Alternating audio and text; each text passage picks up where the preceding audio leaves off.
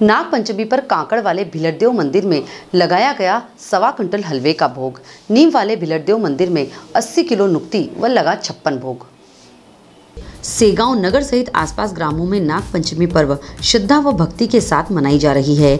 इसी को लेकर रसगांव रोड स्थित कांकड़ वाले भिलटदेव मंदिर में ग्रामीणों के सहयोग से सवा क्विंटल हलवे की प्रसादी व पोहा प्रसादी व गोलवाड़ी रोड स्थित नीम वाले भिलटदेव मंदिर में सुनील पाटीदार की ओर से 80 किलो नुक्ति की प्रसादी एवं नगर की सामाजिक व धार्मिक संस्था राजग्रुप द्वारा बाबा को छप्पन भोग लगाया गया।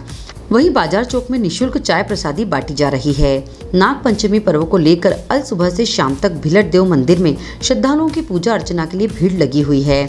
खासकर सेगांव मार्ग से अति प्राचीन व ऐतिहासिक भिलट देव मंदिर नांगलवाड़ी जाने के लिए दिन भर हज़ारों आने जाने वाले श्रद्धालुओं की भीड़ है। नांगलवाड़ी में आस्था का जन सैलाब उमड़ रहा है। आज करीब नांगलवाड़ी भिलटदेव बाबा में पाँच लाख से अधिक श्रद्धालु दर्शन करेंगे।